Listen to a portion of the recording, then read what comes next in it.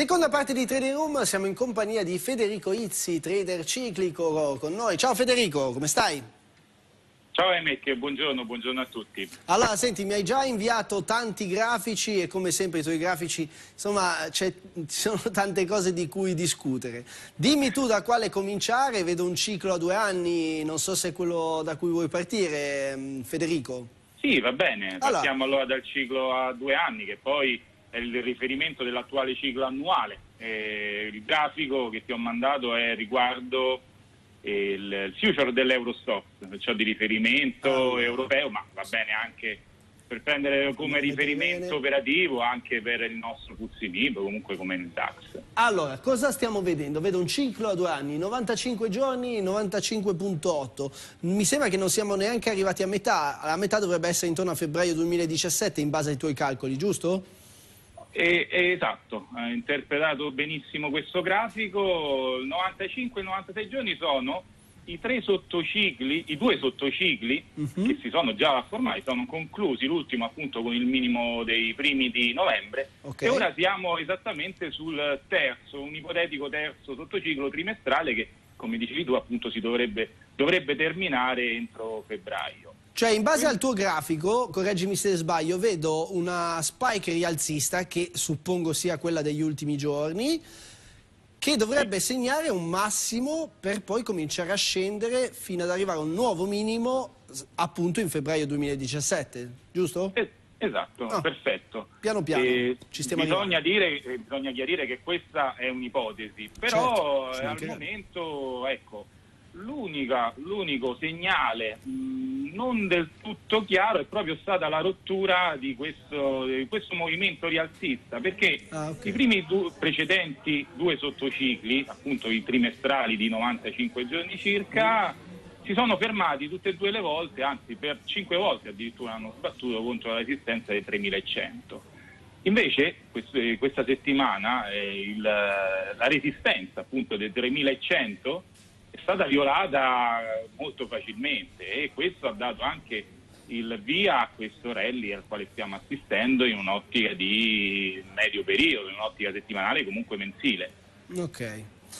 Allora, eh, questo grosso modo è il ciclo a due anni e l'attuale posizione dei mercati finanziari nel ciclo a due anni. Cosa facciamo? Eh, stringiamo, andiamo sui volumi, sul big stocks lungo? Dimmi tu. Va bene, passiamo dai volumi Ecco, mh, mm, il rialzo okay. che c'è stato in questi ultimi giorni, questa settimana in particolare, sì? eh, i volumi ci sono stati, hanno accompagnato questo rialzo. Ora c'è da scindere i volumi sul nostro mercato domestico, sul FTSE e i volumi in ambito europeo. Perché? I volumi sul FTSE sono attenti, erano attenti, non assistevamo a un movimento così forte rialzista in acquisti, dall'estate del 2015. Ora eh, non è che una settimana può cambiare una view appunto così lunga, però è un primo segnale, ora bisognerà poi trovare conferme nelle prossime settimane o meglio nei prossimi mesi, però è un primo segnale. Perché la differenza? Perché eh, in Europa invece con i minimi di inizio anno, del minimi del febbraio appunto, lì invece erano tornati in acquisto, tant'è che i volumi sull'Eurostox danno una tendenza rialzista. Ora eh, ecco, siamo in una fase molto delicata perché arriviamo dai volumi del nostro FTSE bassissimi in una tendenza fortemente ribassista dall'estate del 2015 che eh, insieme a quelli appunto dell'Eurostox che sono rialzisti dal febbraio di quest'anno in questo momento si trovano allineati per la prima volta nel 2016. È un segnale un segnale di forza che comunque ha sostenuto, ripeto, questo ultimo rally di quest'ultima settimana. Però eh, è meglio aspettare e trovare conferme, anche perché, ecco, come vedevamo poco fa insieme Emerick, il ciclo annuale, se correttamente impostato, dovrebbe terminare primi, nel primo trimestre appunto del nuovo anno. Allora, guarda, buongiorno Enrico, volevo chiedere al dottor Rizzi cosa stanno facendo le mani forti, lui è un grande esperto in tal senso, grazie Claudio. E dunque, eh, torniamo sul grafico che abbiamo appena visto, perché in base all'analisi che hai fatto tu, le mani forti che sono queste qua in blu, spero che alla tv si distinguano, esatto. queste sono in blu, qua è l'andamento del nostro FIB e quelli rossi, ahimè siamo noi poveri parco buoi come li, de li definisce Izzi. Praticamente eh, in base all'analisi dei volumi che tu hai fatto, le mani forti stanno acquistando. Hanno acquistato, eh, questo, questo rialzo di questi ultimi giorni, hanno acquistato, anche perché comunque si può vedere benissimo dal movimento che è stato fatto dai prezzi, cioè un movimento così forte dei prezzi, dove c'è un rally, eh, sul nostro Mib sfiora il 14%, sull'Eurostox siamo attorno all'11%, dai minimi di fine novembre, del 29 novembre, è, è un movimento forte. Ora questo è dovuto sia eh, agli acquisti, ci sono stati comunque degli acquisti che hanno girato questo movimento, e poi anche dal, dalle ricoperture di chi era ribattista. Nel grafico ciclico, Emerick, sì. avevo indicato, ho indicato due range dove si può mh, notare come i prezzi erano compressi fino a lunedì scorso, fino a lunedì martedì di questa settimana, in un range sull'Eurostox dell'8%, un 8% dove i prezzi hanno oscillato negli ultimi sei mesi e ora l'uscita dal canale eh, di alzista e questo ha generato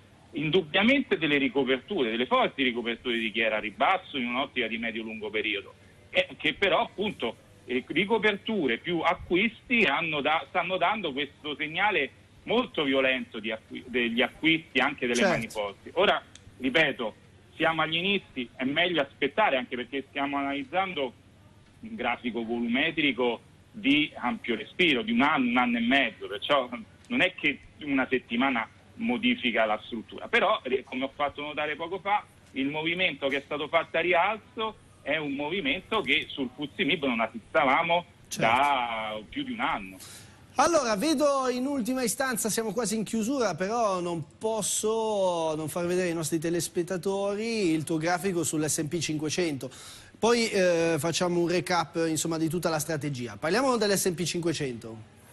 Ecco, l'SP 500... Tra l'altro GIF animata mi hai mandato pure. Eh, ti ho mandato una GIF animata che, avevo, che ho pubblicato a inizio settimana sul mio canale social perché eh, più che altro per dare eh, il senso di il movimento che sta avendo l'S&P 500 in particolare nel mese di dicembre perché il mese di dicembre no, statisticamente è caratterizzato eh, tutti attendono per i rally di Natale un rally di Natale che si sviluppa nella seconda parte del mese dopo il 15-20 di dicembre comunque nell'ultima fase finale del mese eh, appunto eh. dell'ultimo mese e cosa caratterizza il mese di dicembre? Che gli inizi, le prime due settimane e i prezzi ritracciano o comunque non danno un segnale rialzista, questo dovuto a tanti fattori. E comunque un, eh, diciamo, i prezzi stazionano, anzi hanno statisticamente un movimento ribattista, di ritracciamento, non vero e proprio movimento ribattista. Questo quest'anno non si sta verificando. L'ho preso come riferimento, ripeto, questo su base statistica, ma mi sono ristretto agli ultimi cinque anni. Gli ultimi cinque anni, infatti, hanno confermato questa statistica che nei primi 15 giorni c'è stato un movimento di ritracciamento tra il 2 e il 5%.